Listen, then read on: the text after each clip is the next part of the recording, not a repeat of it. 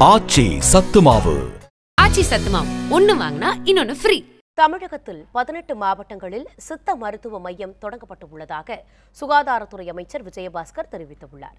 புதுக்கோட்டையில் கொரோனா சிறப்பு மருத்துவத்திற்கான அமைக்கப்பட்ட நூறு படுக்கைகள் கொண்ட சித்த மருத்துவமனையை அமைச்சர் விஜயபாஸ்கர் திறந்து வைத்தார்.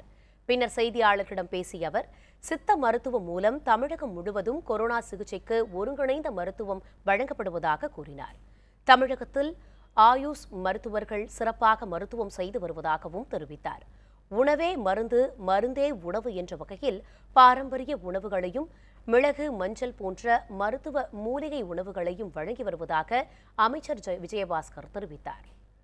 தொடர்ந்து வந்து மேலும் நீங்க கேட்டது போல மேலும் தமிழகத்தில் எல்லா மாவட்டங்களிலுமே ஒரு இந்திய மருத்துவத்துறை சார்பில் ஒரு பிரத்யேகமான மையங்கள் அமைக்க மாண்புமிகு முதலமைச்சர் அவர்கள் அனுமதி அளித்திருக்கிறார்கள். முதலமைச்சர் அவர்களுடைய வழிகாட்டுதலோடு எல்லா மாவட்டங்களிலும் இந்த சித்த மருத்துவ சார்பில் இந்திய மருத்துவத்துறை சார்பில் ஆயுஷ் மருத்துவர்கள் முழுமையாக முன்னின்று களப்பணியாற்றக்கூடிய இந்த சென்டர்ஸ் இப்படி இப்போ புதுக்கோட்டையில் மாவட்ட ஆட்சித்தலைவர் தலைமையில் ஒரு நூறு பெற்றோட இங்கே சிறப்பாக ஏற்பாடு செய்யப்பட்டிருக்கிறதோ அதே போல் எல்லா இடங்களிலும் ஏற்பாடு விரிவுபடுத்தப்படும் என்பதை உங்களுக்கு தெரிவித்துக் கொள்கிறேன்.